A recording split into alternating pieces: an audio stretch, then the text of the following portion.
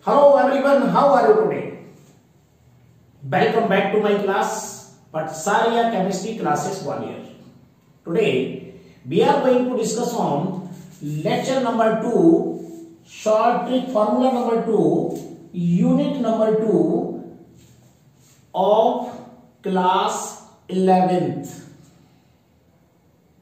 This lecture is very, very important for those students who are preparing for G or NEET with board exam. So let's start without delay. आज के इस lecture में मैं आपको जो मैंने series start की है super hundred short trick of complete chemistry इस शॉर्ट ट्रिक फॉर्मूले में मैं आज आपको सेकेंड नंबर का फॉर्मूला सिखाने जा रहा हूँ, जो कि यूनिट टू से है और फ़िज़िकल केमिस्ट्री के एटॉमिक स्ट्रक्चर से लिया गया है, जो क्लास इलेवेंथ में आता है। ये फॉर्मूला भी बहुत इंपॉर्टेंट है। आप अगर इलेवेंथ या ट्वेल्थ क्लास का एग्ज़ाम दे रहे हैं तो भी कोई प्रॉब्लम नहीं है और अगर आप जी और नीट में बैठेंगे इस वर्ष, तब तो आपके लिए मोस्ट इंपॉर्टेंट है। यहाँ पर मैंने एक क्वेश्चन पुट किया है।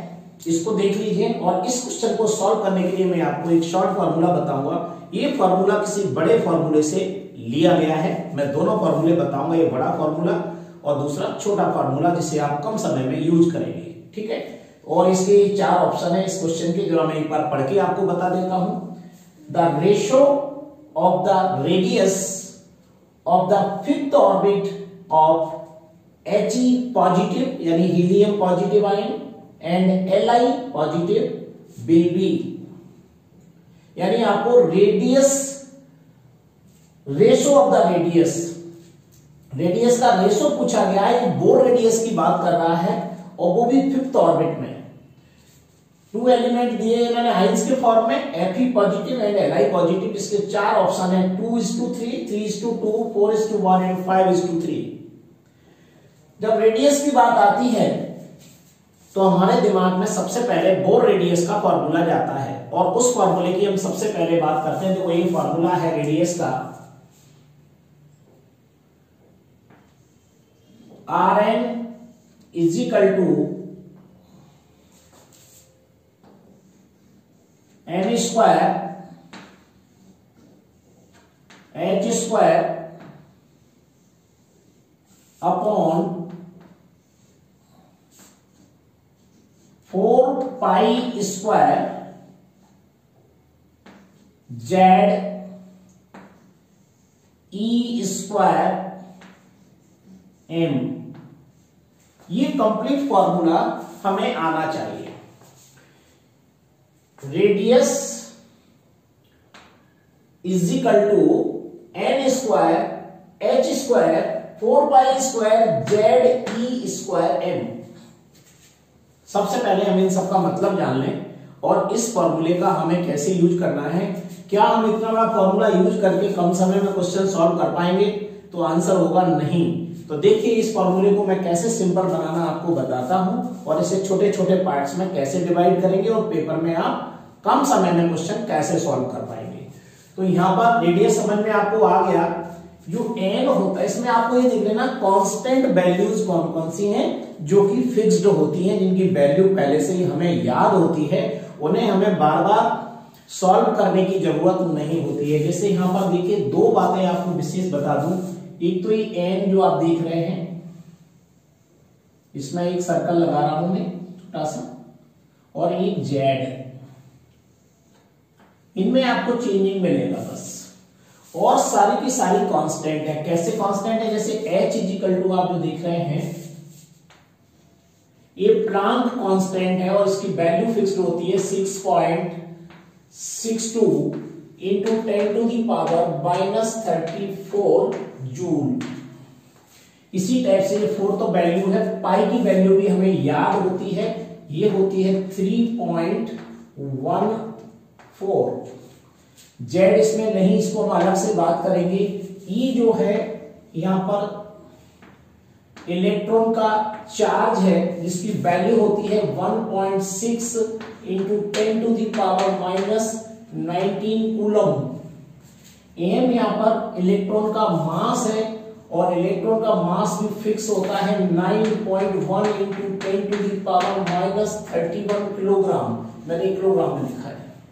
आप ग्राम में भी कन्वर्ट इसे कर सकते ये फोर वैल्यू आप जो देख रहे हैं फिक्स्ड वैल्यू है और इन वैल्यूज़ को अगर बार बार आप कैलकुलेशन में यूज़ करेंगे तो कैलकुलेशन बहुत लंबा हो जाएगा और आपको सॉल्व करने में प्रॉब्लम आएगी। तो ये हमारी फिक्स्ड वैल्यू हो गई। अब इसमें जो चेंज आता है, वो एन में और जेड में आता है। एन मीन्स होता है नंबर ऑफ़ ऑर्बिट्स यानी किस किस ऑर्बिट्स में इलेक्ट्रॉन्स हैं, वो उसकी बात करेगा कहाँ पर है और जेड मीन्स होता है एटॉमिक नंबर ये हमें पता होना चाहिए।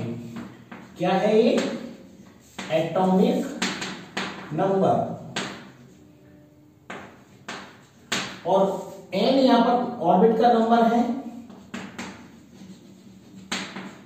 इसे हम पता लगा लेंगे किस ऑर्बिट में ये बात कर रहा है।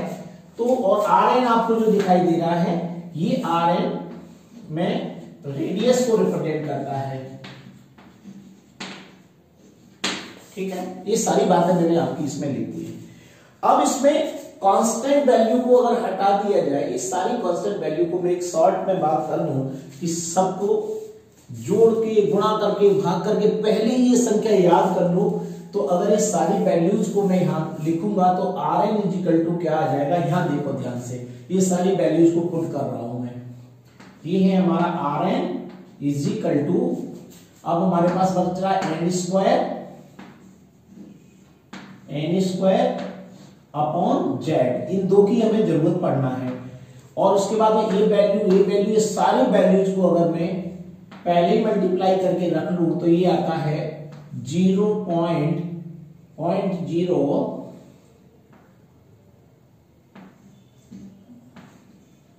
five two nine into ten to the power minus ten metre. अगर आपको ये वैल्यू आंसर मीटर में निकालना है तो ये संख्या का आप मल्टीप्लाई कर दीजिए इसकी जगह पर। Point zero five two nine into ten to the power minus ten अगर इसे एंगस्ट्रॉम में पूछ रहा हो तो केवल ये संख्या हटा दीजिएगा।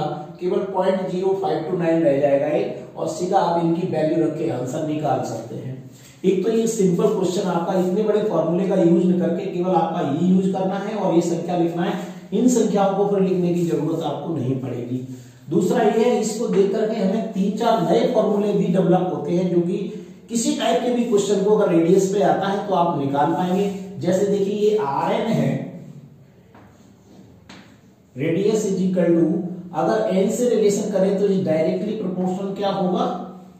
एन स्क्वायर होगा। होगा क्या नहीं? ये आर एन एन के प्रोपोर्शनल है। अगर ये इंक्रीज होता है तो ये इंक्रीज होता है। इस टाइप का क्वेश्चन बन सकता है। और अगर इसे मैं इक्वल में कन्वर्ट करूँ तो देखिए, ये फॉर्मूला बन जाता है R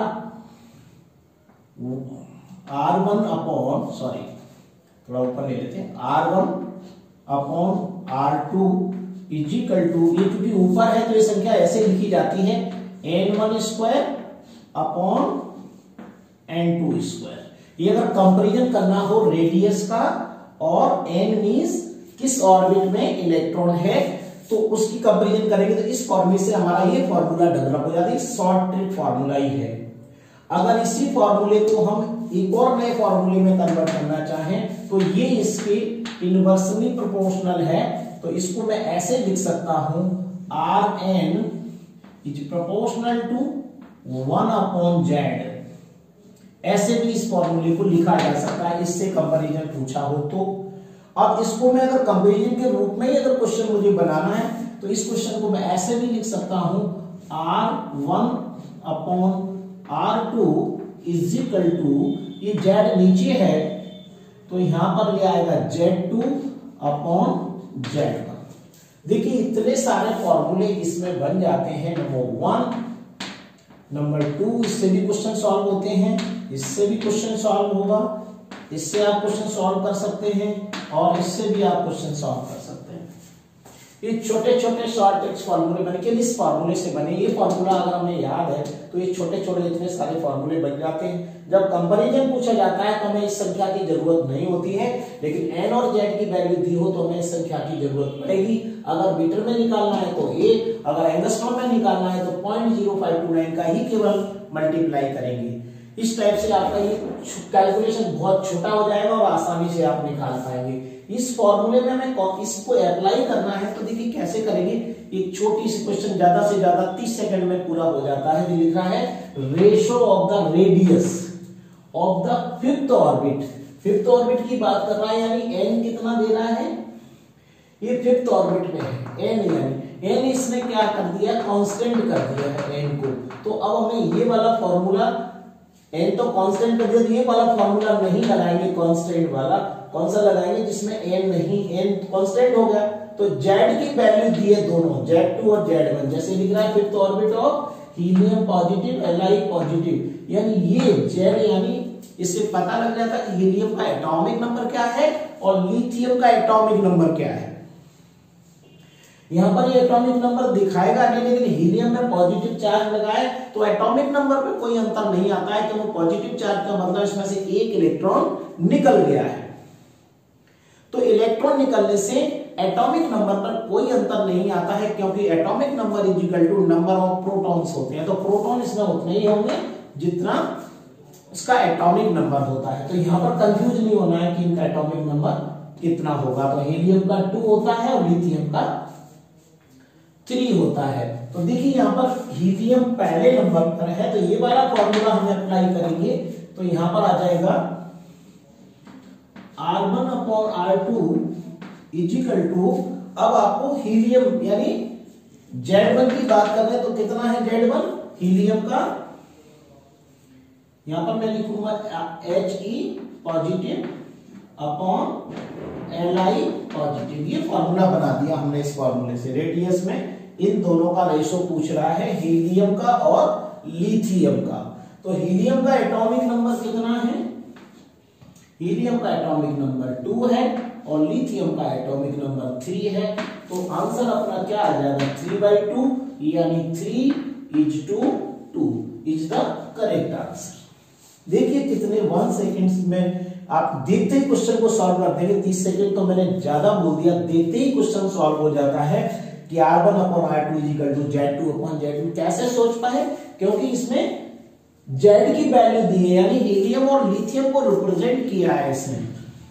और इसने कांस्टेंट वैल्यू क्या दी थी? रेडियस के अंदर रेशियो ऑफ़ द रेडियस निकलवा रहा है, उसका फिफ्थ ऑर्बिट ये इसने पहले बता दी। फिफ्थ ऑर्बिट यानी ये कांस्टेंट हो गया तो अपन एन वाले फॉर्मूले को नहीं लिखे अगर इसको कांस्टेंट करता तो हम N one square upon N two square वाला फॉर्मूला लिखते। तो ये दो फॉर्मूले से ही हमारे सारे क्वेश्चन सॉल्व हो जाते हैं, या फिर डायरेक्टली लैंग्वेज वाले क्वेश्चन इससे सॉल्व हो जाते हैं। ऐसे क्वेश्चन अगर मैं आगे आपको बताऊँगा, जो थ्योरी आप पढ़ेंगे, उसमें भी आप चीज़ को सीखेंगे। जिन स्टूडेंट को ऐसा लगता है फॉर्मूला कहाँ से आया और ये क्वेश्चन कैसे सॉल्व किया जाता है तो इसका डिटेल्ड वीडियो भी मैं आपको दे चुका हूँ एटॉमिक स्ट्रक्चर में। कंप्लीट डेरिवेशन भी निकालना मैंने, सिखाई है। अगर आप चाहते हो वो डिटेल वाला भी मैं सीखूं तो आपको मैं नीचे डिस्क्रिप्शन बॉक्स में आपको लिंक भी दे दूँगा। उस लिंक से आप एटॉमिक रेडियस निकालना भी सीख सकते हो। ये डायरेक्ट फॉर्मूला है। हमें इसका भी यूज़ नहीं करना है। इससे हमारे फॉर्मूले बनाना मैंने आपको बताया है। इन फॉर्मूलों से आप डायरेक्ट क्वेश्चन निकाल सकते हैं। तो ये रहा हमारा ट्रिक या short trick formula number two और इससे हमने रेडियस निकालना आपको बताया। So thank you very much next video will be continue हर फॉर्मूले को पढ़ने के बाद आपके मन में अगर कुछ विचार आता है तो प्लीज़ कमेंट बॉक्स में मुझे ज़रूर बताइएगा।